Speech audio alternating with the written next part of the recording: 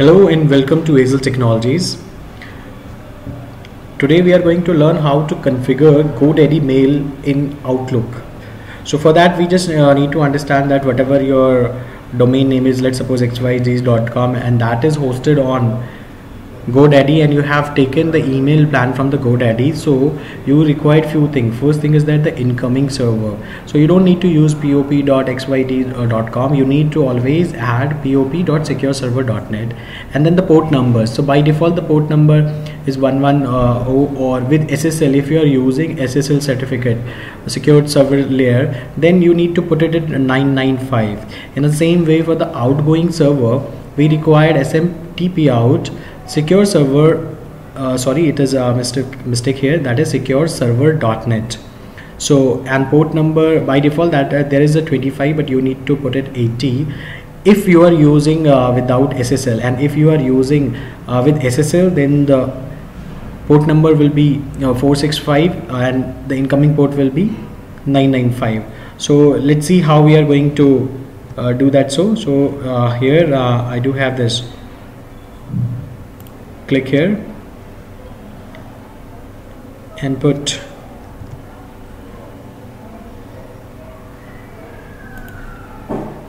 next. It's saying that do you want to set up an outlook to connect an email account? We have option yes. So just click yes. So uh, today the newer version of office we do have email address. If you would buy manually no so you have to click manually here. If you want to that outlook automatically configure from where your email is hosting and from where you, which plan you are using. You just need to put it everything here but right now i'm using a manual one. So how it's going to be do so i just need to click here the manual one here. Manual and then uh, next. It's asking for microsoft exchange server outlook or anything else and then we do have this pop or IMAP so we are using pop and then click next so first it is going to ask you your name. So I'm putting my name here.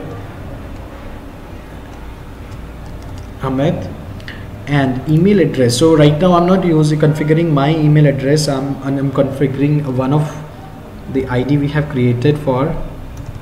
That is bdm at the rate is it iels.com now again it's asking for the server. So if you see here I have already put up here so here in the incoming server you need to write down pop dot secure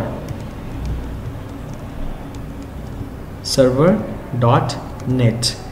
And again here SMTP SMTP stand for simple mail transfer protocol out dot secure server dot net and here you need to write your name username the complete email address you have to write here.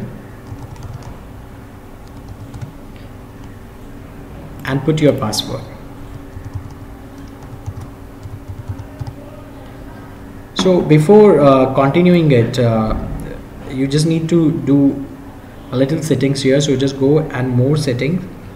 And here uh, you know there are two kind of things. Uh, one is the new outlook data file and another one is the existing outlook data file. So what is existing data file? If already you were using your outlook and now you have formatted your pc but you do have your backup of your psd files somewhere so you don't want to create a new psd already the psd is running. You just want to edit the same thing in that.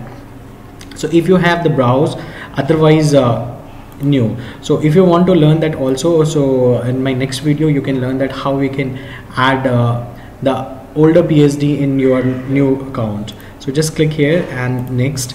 Now sorry. Just go to more settings here and uh, you have to go to outgoing server. Use my outgoing server SMTP now go to the advanced. In here by default the POP3 is 110 and that you have to put it this server required an encrypted connection. If you are using SSL that this value is going to change. See 995 then you have to use here 465 and then you have to put it the security SSL but we are using default. So it is 110 and here you have to put it not 25 but the 80 the port number 80 and the delivery.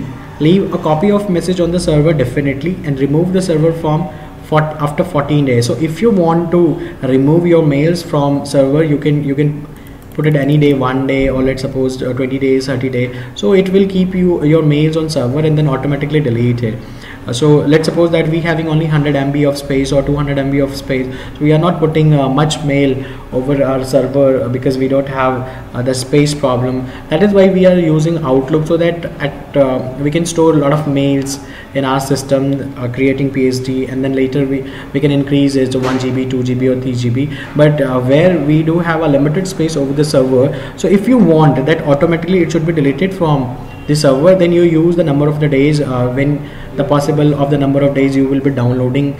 If you don't want to uh, delete from the server so remove this and manually you can delete from your server. So I'm going to delete manually from my server and I'm going to OK it and then I'm going to press next. Now it will test the connection if you want to test the connection here only you can test the connection. Otherwise we have to do twice. Uh, for uh, your confirmation I'm going to uh, do it the same action. So test your connection. If it will be okay here you will see the complete sign right? And in the same way if your incoming is okay but if outgoing have a problem so it will show you the error. So don't worry about the errors.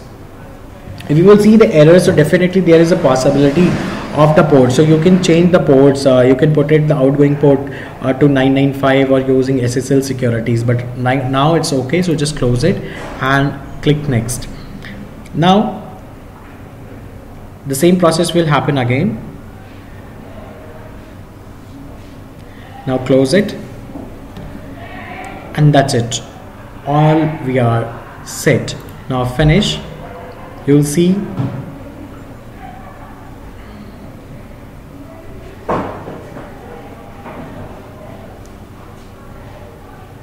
we are going to receive the mails. Now mails have a lot of mails 255 mails and it's downloading. So where you can see the mails in your inbox.